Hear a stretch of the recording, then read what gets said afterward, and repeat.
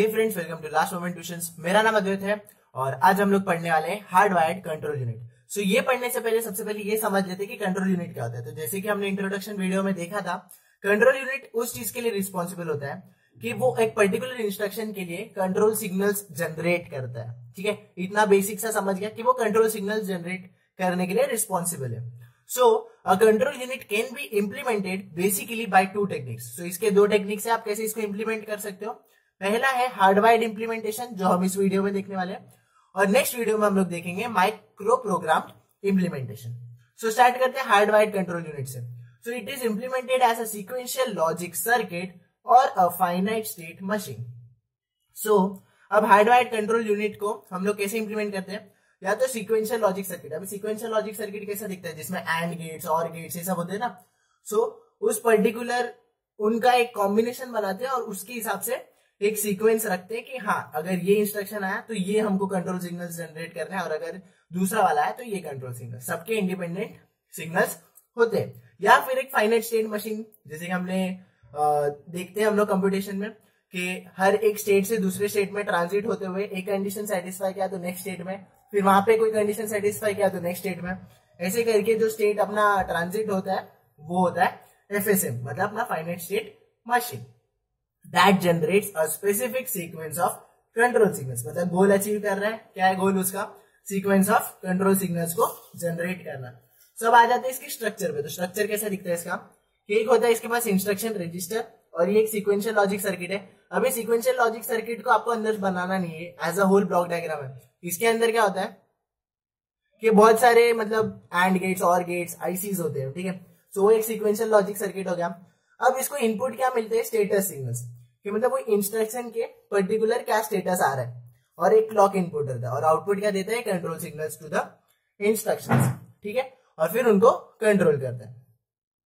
So it uses fixed logic हाँ और ये इंस्ट्रक्शन रजिस्टर क्यों यूज़ करते हैं कि कौन सा इंस्ट्रक्शन करेंटली चल रहा है, उसका क्या स्टेटस है और उसके लिए मुझको क्या कंट्रोल सिग्नल्स जनरेट करना है। इतना आपको याद रखना है। इंस्ट्रक्शन जो चल रहा है, उसके लिए क्या स्टेटस उसका है भी और उसके लिए क्या कंट्रोल सिग्नल्स जनरेट करने so it uses fixed logic interprets and then generates corresponding control signals. Interprets the instruction and then generates the corresponding signals.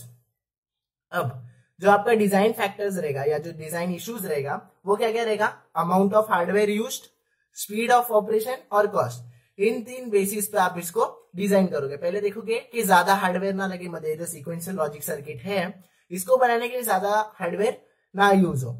Speed of operation. अब ये सर्किट तो बना दिया, पर इसको, जैसे समझो, अगर आप बहुत सारे आईसी को एक आईसी से रिप्लेस कर रहे हो सो ऑब्वियसली आपका स्पीड ज़्यादा होगा, ठीक है? मतलब बहुत जन का काम अगर एक ही काम कर रहा है, फालतू में अगर अपन उसका स्पीड ये लैग ना करवाते उसका स्पीड बढ़ा दें मतलब उसको एफिशिएंसी दे दें सो वो भी अपना एक डिज़ाइन फैक्टर हो सकता है। और तीसरा क्या है? Cost so cost is nothing but आपका कंप्यूटेशन रिसोर्सेज जो यूज़ कर रहा है, वो सारे, ठीक है?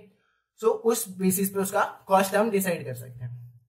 सो इन तीन फैक्टर्स को हम लोग को दिमाग में रखना है जब भी हम एक डिज़ाइन कर रहे हैं। सो अब there are four techniques for design of hardwired control unit अब हार्डवाइड उसके नाम से ही पता चल रहा है कि हार्डवेयर यूज़ हो रहा है भाई इसमें, ठीक है? सो इसकी चार टेक्निक्स है। पहला है स्टेट टेबल मेथड अब स्टेट टेबल मेथड क्या आता है? ये भी सिक्वेंशियल डिज़ाइन ही होता है। हार्डवेयर कम होता है इसमें।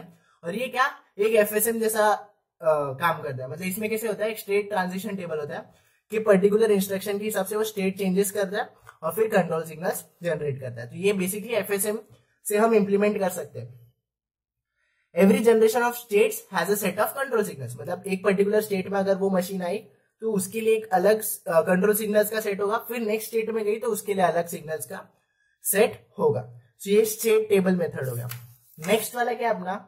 डीले एलिमेंट मेथड तो डीले एलिमेंट मेथड क्या है? अब प्रीवियस वाले में क्या एक डिसएडवांटेज आप बोल सकते हो है कि देखो इसमें स्टेट ट्रांजिशन टेबल है। हर एक स्टेट में आता है ना तो एक कंट्रोल सिग्नल आता है। अभी आप इमेजिन करो मतलब फटाफट ये ट्रांजिट हो रहा है एक स्टेट से। स्टेट वन से स्टेट टू में बहुत फास्ट गया। ठीक है?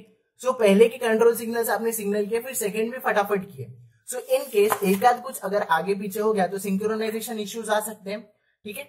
सो स्टेट टेबल मेथड में क्या होता है? सिंक्रोनाइजेशन इश्यूज़ आते हैं, क्योंकि वो धपाधप ज़रूरी नहीं है। कभी तो स्टेट ट्रांजिट होने में बहुत टाइम लगेगा। तब तो सही रहेगा कंट्रोल सिग्नल्स का गैप पर कभी कभी फटाफट भी तो स्टेट ट्रांजिट हो सकता है ना। सो उस जगह पे वो थोड़ा इनएफिशिएंट हो जाता है। तो वहीं पे हम फिर ये सेकेंड टेक्निक यूज़ करते हैं, जिसका नाम है डिले एलिमेंट मेथड सो ये भी क्या करता है? Control signals follow a proper sequence मतलब वो जो कंट्रोल सिग्नल्स जनरेट होते हैं एक प्रॉपर सीक्वेंस में होते हैं। और a specific time delay between two groups of control signals मतलब कि अगर जब मेरे को इंस्ट्रक्शन के बेसिस पे दो कंट्रोल सिग्नल्स का सेट जनरेट करना है सो उन दोनों के बीच में उनको सिग्नल करने के बीच में एक पर्टिकुलर टाइम गैप होगा और वो सबके लिए सेम होगा। मतलब जैसे समझो 10 सेकेंड 10 एमएस का गैप या 10 एनएस का गैप नैनो सेकेंड या मिली सेकेंड का उस हिसाब का एक टाइम डिले सेट होता है इसमें डिले एलिमेंट में। सो so, उसकी वजह से क्या होता है? सिंक्रोनाइजेशन मिलता है। और इसको इंश्योर करने के लिए हम क्या यूज़ करते हैं? D flip flops are controlled by common clock signal so जो हमारे डी फ्लिप फ्लॉप्स है मतलब जो सिक्वेंशियल लॉजिक सर्किट के अंदर के जो एलिमेंट्स है सो so उनको हम एक कॉमन क्लॉक सिग्नल से ही कंट्रोल करते हैं। जैसे कि आपने उसके स्ट्रक्चर में भी देखा होगा कि यहाँ पे क्लॉक सिग्नल सिर्फ़ एक ही था। ठीक है? सो ये डिले एलिमेंट मेथड समझा आपको। अब आ जाते हैं थर्ड और फोर्थ मेथड अब आ जाते थर्ड वाले पे। थर्ड वाला क्या है? सीक्वेंस काउंटर मेथड अब इसके नाम में ही इसका सजेशन है कि ये क्या परफॉर्म करेगा? ये सीक्वेंस को एक काउंटर यूज़ करके अप्रोच करेगा। मतलब क्या करेगा? It uses counter for timing purposes मतलब जो दो गैप्स थे अपने कंट्रोल सिग्नल्स के बीच में तो हम क्या करेंगे? काउंटर लगा देंगे। और उस काउंटर के हिसाब से जो टाइमिंग हमारा हमको डिसाइड किया है हमने दो कंट्रोल सिग्नल्स के बीच का, उसको हम अप्लाई कर देंगे या इम्प्लीमेंट कर देंगे। तो ये थर्ड मेथड होगा। फोर्थ मेथड कौन से? अपना हार्डवायर कंट्रोल यूनिट को इम्प्लीमेंट करने का। फोर्थ वाला है PLA method so it uses programmable logic array मतलब पीएलए का फुल फॉर्म क्या है? प्रोग्रामेबल लॉजिक अरे सो प्रोग्रामेबल लॉजिक अरे क्या होता है? बेसिकली सो बेसिकली हम लोग इसमें क्या करते हैं? हमारे पास अरे होता है। उसमें हर एक सिग्नल्स का मतलब हर एक इंस्ट्रक्शन के स्टेट का, हम एक छोटा सा लॉजिक लिख के रखते हैं। ठीक है? उस लॉजिक को आप अपडेट कर सकते हो प्रोग्राम करके। सो so, इसलिए इसका नाम है प्रोग्रामेबल लॉजिक अरे सो so, उस अरे को जब हम रिफर करते हैं उस पर्टिकुलर स्टेट में तो वहाँ पे एक सेट ऑफ़ कोड होता है एक सेट ऑफ़ लॉजिक होता है। और वो लॉजिक हम वो सिक्वेंशियल सर्किट में अप्लाई करते हैं जो भी एंड और ऑपरेशन होगा वो अप्लाई करके हम लोग उसको फिर हार्डवायर कंट्रोल को इम्प्लीमेंट करते हैं। और क्या जनरेट करते हैं? कंट्रोल सिग्नल्स तो ये चार मेथड हो गए। कौन से चार देखे अपन ने पहला था स्टेट टेबल मेथड जो एफएसएम यूज़ करते हैं। दूसरा क्या था? एफएसएम का डिसएडवांटेज को कवर किया किसने? डिले एलिमेंट ने। थर्ड कौन सा अपना? सीक्वेंस काउंटर मेथड और फोर्थ है अपना PLA that is programmable logic array so guys ये था वीडियो अपना हार्डवायर कंट्रोल यूनिट पे। नेक्स्ट वीडियो में हमने कवर किया है micro program control unit so next video को जाके फटाफट देख लो। और अगर ये वीडियो पसंद आया तो अपने सारे फ्रेंड्स के साथ शेयर करो। सब्सक्राइब करो चैनल को। अगर नहीं किया है अभी तक तो आपको इसके पूरे डिटेल नोट्स चाहिए तो डिस्क्रिप्शन बॉक्स में डिटेल दी गई है किस तरह से आप हमारे नोट्स ले सकते हो। हमारी वेबसाइट को जाके विज़िट करो www.lastmomentutions.com वहाँ पे आप इसका पूरा कोर्स ले सकते हो, और भी बहुत सारे कोर्सेज है जो आप ले सकते हो। So guys thank you so much once again video देखने के लिए। All the best for your exams and have a nice day